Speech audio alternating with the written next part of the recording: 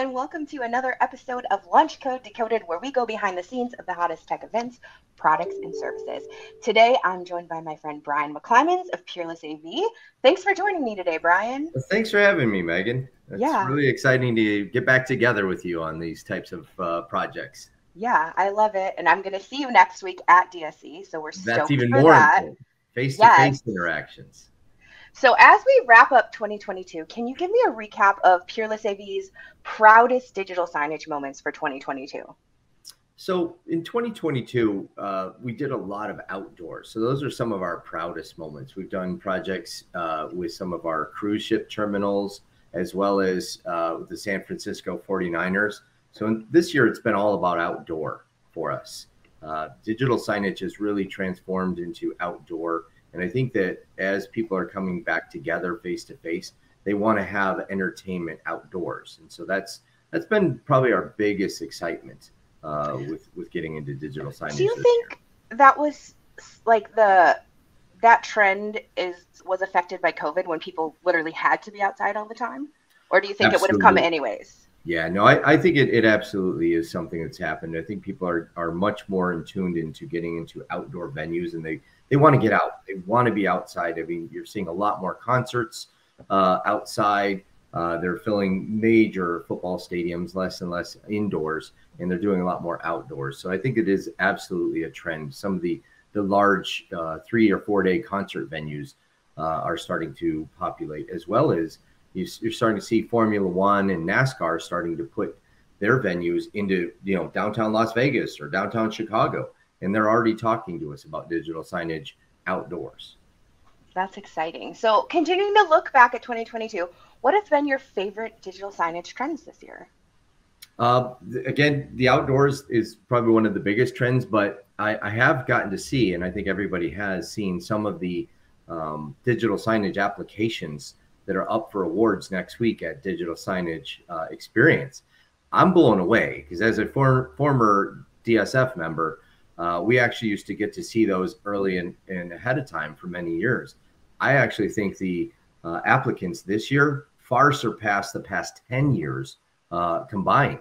And so I'm pretty blown away. We actually have a submittal that we feel is fantastic um, that's up for an award, but there's several product projects that are out there in the same application that are amazing as well. So it's it is pretty cool to see bigger, uh, especially with direct view LED. They're bigger and more, me, you know, overwhelming.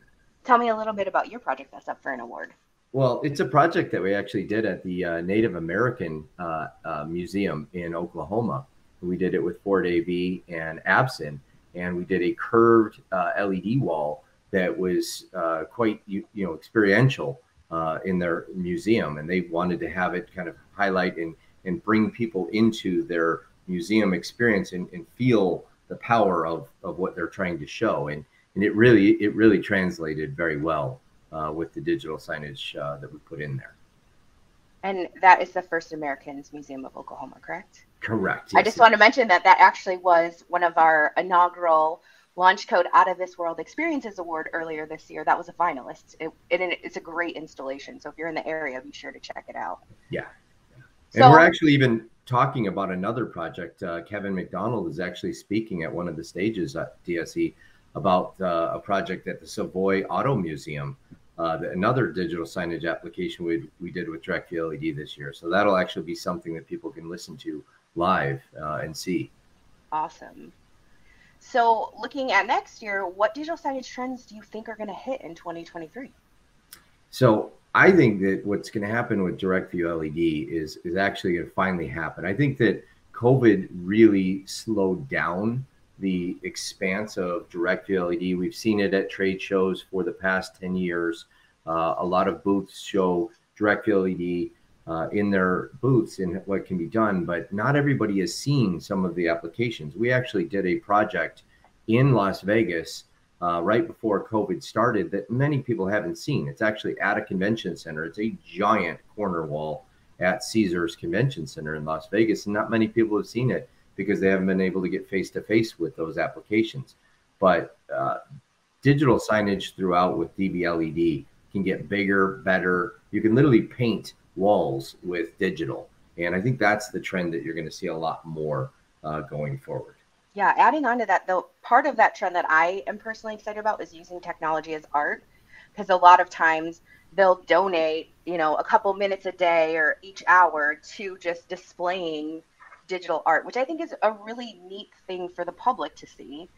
And you're not just always worried about, you know, ads on eyeball or eyeballs on ads. Yeah. Have you seen the the oh the takeovers that they do it in Times Square um, in New York?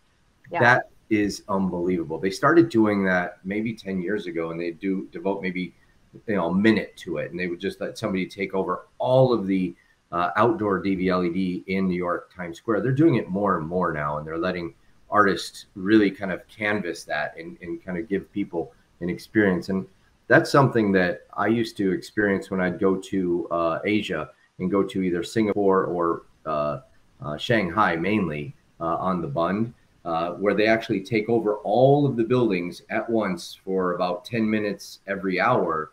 Uh, it's in concert, video, audio, and they overtake the entire buildings and, and show a kind of a feeling of what the city is about. And, and millions of people see that every year. And so I think yeah, that you're going to see that more and more. You get uh, so immersed and engaged when it does that, you know, and at the end of the day, that's better for your ads because people are looking at the screen waiting to see if there's some art piece that's going to come up. Yes, for sure, for sure. So we talked about this briefly. You're going to be heading to Vegas soon for DSE 2023. Why are you excited about the show? Uh, we're excited to show people some of the products that we have. We're going to show some of the highlights of DV LED that we've done. We're going to highlight our uh, outdoor uh, displays that we have in applications, whether they're drive-through menu boards or into smart city kiosks. We've deployed several of those smart city style kiosks over the past uh, two years. Um, but now we're going to be able to let people see it face to face and kind of come up with their ideas and how they can use it for their applications. Exciting. So thanks for joining me today, Brian. If people want to connect with you or Peerless AV, where should they go?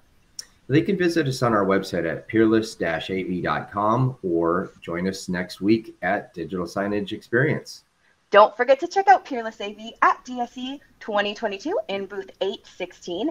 And if you're heading to the show but haven't registered, head to digitalsignageexperience.com and use code RAVEGIFT during registration for a free exhibit hall pass.